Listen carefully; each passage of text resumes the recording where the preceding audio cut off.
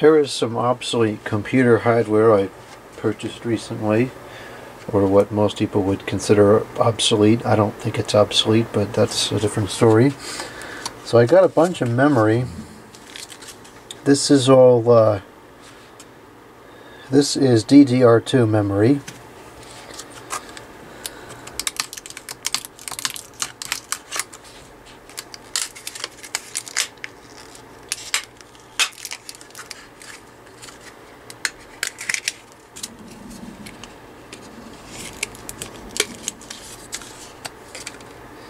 Here's the memory. It's, uh, according to the listing, it was supposed to be Samsung memory, but I, I kind of figured that wasn't the case uh, at the time of the purchase.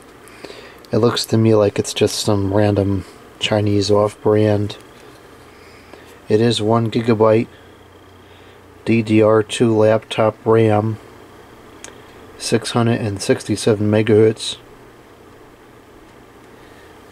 It was only a couple dollars a piece, so I bought a whole bunch of the sticks because I use them. You know, I, have been getting a lot of machines from the DDR2 era recently, and so I'm going to be needing the memory. I also ordered some DDR1, which I don't think has arrived yet.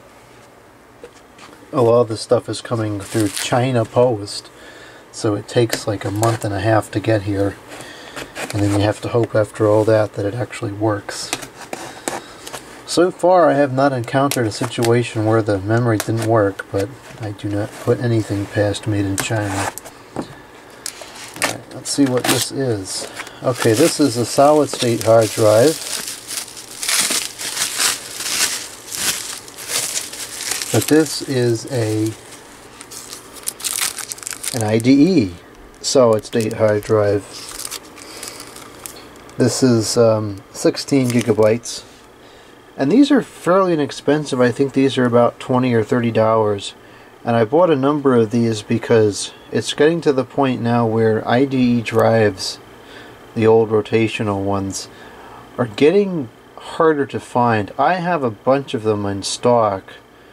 You know, they're used, so I mean they could break tomorrow, you know, who knows, but they're getting very difficult to find. And so when I discovered that they made, they still manufactured these in this form factor, I got one and I tried it out and it worked pretty good. The speed advantage isn't really there because you're still limited by the IDE interface, but it does it does run faster than a, an old mechanical drive does, and it's still available. I don't know if these are going to last as long as the old mechanical drives did. I would speculate probably not, but at least I can still get these. I can't really get the old the old mechanical ones anymore. I mean, you can get them used. You get them used on the e-rip-off and stuff, but you're taking a gamble when you buy stuff used without seeing the hour count and knowing where it was used and so forth. You could buy a used hard drive and it was dropped and it could have had a platter crash and then it's useless. So who knows. Um, but anyway, so there's that. This is the same thing. I'm not going to open that up yet. This one is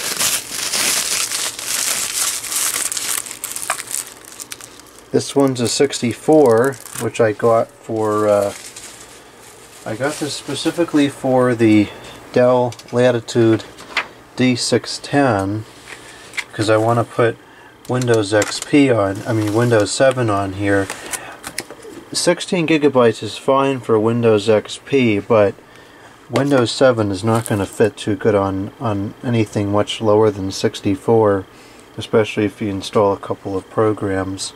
So that's what I got this one for. This is it's the same model, uh, but it's just different size. Inherently, they come up to one terabyte in size. I can't fathom what in the world you'd be doing with uh, an, a, machine of the IDE age that you'd need a terabyte of, of data, but I guess know, I mean, people must buy them, otherwise they wouldn't make them. The drives themselves feel pretty cheap, although, I mean, all these do. They're very lightweight and thin.